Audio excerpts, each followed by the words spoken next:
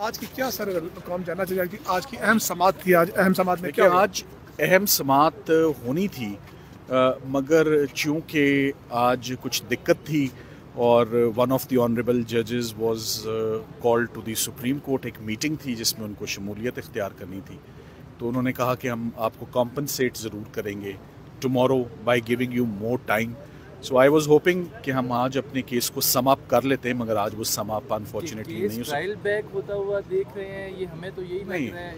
देखिए आपको बिल्कुल गलत लग रहा है। मैं इस केस को देखिए जब आज कितवा दिन है अपील हार्ग्यू होते हुए? सातवां दिन है आज।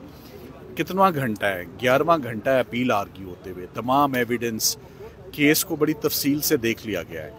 अब इसका फैसला इंशाल्लाह मेरिट्स पर होगा क्योंकि तमाम नुक्ते तमाम फ्लॉज डेंट सब खुले तरीके से अब डिस्कस हो चुके हैं।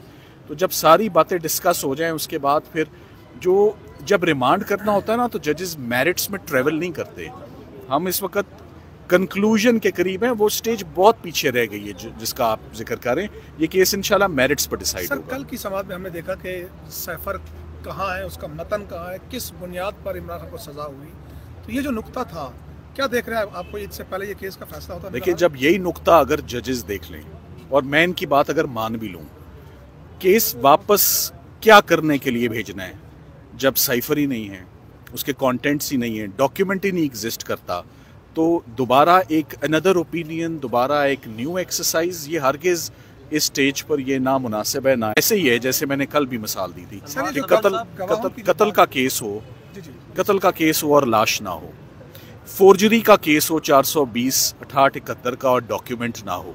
नॉर्कोटिक्स 9 सी का केस हो और हेरोइन ही ना हो। माल मुकदमा जब नहीं है तो किसको केस भेजना है और क्यों भेजना है और किस लिए भेजना है? आप सवाल पूछे। में सजा हुई थी आपने कहा था कुछ बना ही नहीं है तो तोड़ना क्या ग्यारह दिन लगे तोड़ते हुए सर। जी वो आपकी बात बिल्कुल दुरुस्त है। वो इसलिए है कि अगर कोई हमें एक दिन मिल जाता और रमज़ान का एस्पेक्ट ना आता और मैं तो शाम तक, रात तक आपको मालूम है, हमसे ट्रायल करवाया गया रात 11 बजे तक, रात 12 बजे तक। सो हमें जिस दिन दो तीन घंटे मिल जाएँ इकट्ठे अनइंटरप्टेड हमें मिलता है घंटा घंटा, सवा घंटा, वो भी रमज़ान की वजह से मिलता है, पौने तीन बजे जजेज़ उस वक्त एग्जॉस्ट भी होते हैं। And I sympathise and I also appreciate के लेट आवर्स में केस सुना जाता है।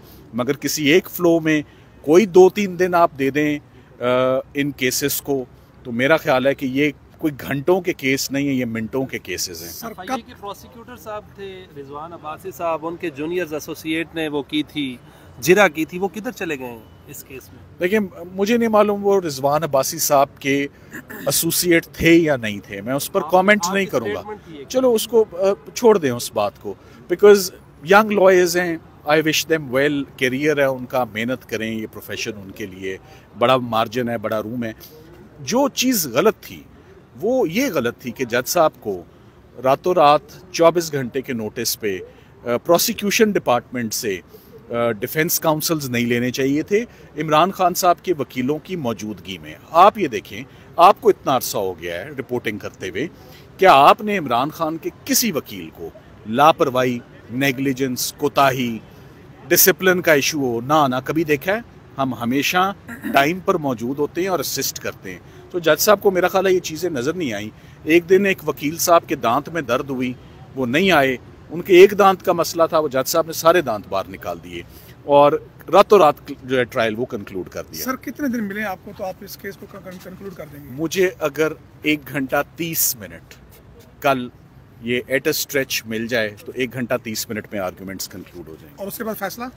ऑफ़ कोर्स सर आपको चीफ ये 190 कहा था कि प्रोसीडिंग के दौरान मीडिया पे बात नहीं किया करते तो आप ये मुझसे रोक के आप सवाल हाँ ऐसे सवाल ऐसे सवाल देखें ऐसी बात जो मामला सब जुडिस है जो सब जुडिस है उस पर मैं बात अब नहीं करूँगा। वो कमिटमेंट अंदर देकर आया हूँ।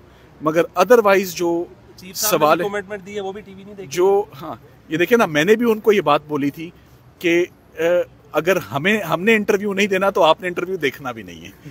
सर आखिर 190 एक सौ नब्बे मिलियन केस है इस, उसको भी समाप्त तेज़ी के साथ जारी है। क्या लग रहा है कि खान साहब अगर इधर आप उनको बरी कराते हैं तो उधर से फिर उस केस में डाल दिया जाए? देखिए अब उसका उसका क्या हो सकता है? वो एक केस चल रहा है। तेज़ी से चल रहा है एक बैकअप प्लान हमेशा होता है।